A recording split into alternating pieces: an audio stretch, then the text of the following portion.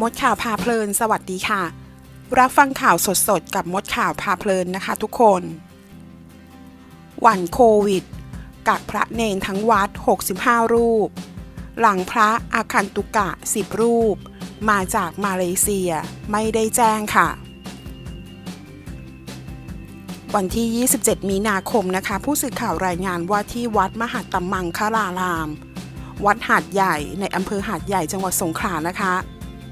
เจ้าหน้าที่ศูนย์บริการสาธารณสุขโรงเรียนเทศบาล 5 ของเทศบาลนครหาดใหญ่ ได้ไปตรวจร่างกายประจำวันของพระอาคันตุกะสิบรูปนะคะ ซึ่งเดินทางมาจากประเทศมาเลเซีย และมาพักอยู่ที่หอพักพรอาคันตุกะของวัดหาดใหญ่ ตั้งแต่วันที่ 18 มีนาคมและอยู่ระหว่างกักกันตัว 14 วัน ไปจนถึงวันที่ 31 มีนาคม พบว่าพระอคันตุกะทั้ง 10 รูป ปกติดีนะคะ ไม่มีอาการเข้าข่ายป่วยติดโควิด -19 แต่อย่างใดค่ะ โดยทางวัดมหัตตมังคลาราม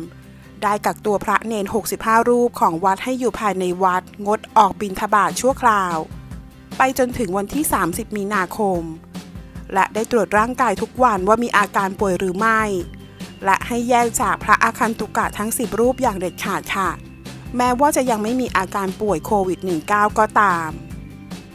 พระครูประหลัดพลลกฤษกัลยาณธรรมโมเจ้าคณะตำบลหาดใหญ่เขตที่ 1 และหัวหน้าพระวินยาธิการจังหวัดสงขลานะคะ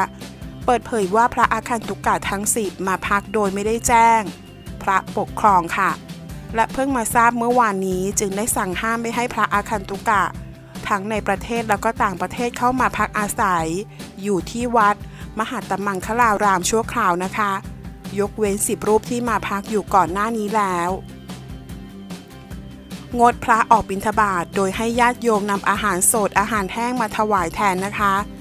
เพื่อรับผิดชอบต่อสังคมและประเทศชาติ จึงจำเป็นต้องกักตัวพระทั้งวัดให้อยู่ในเฉพาะบริเวณวัดชั่วคราว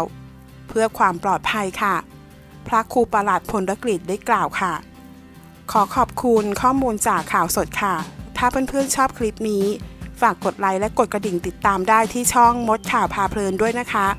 ขอบคุณค่ะ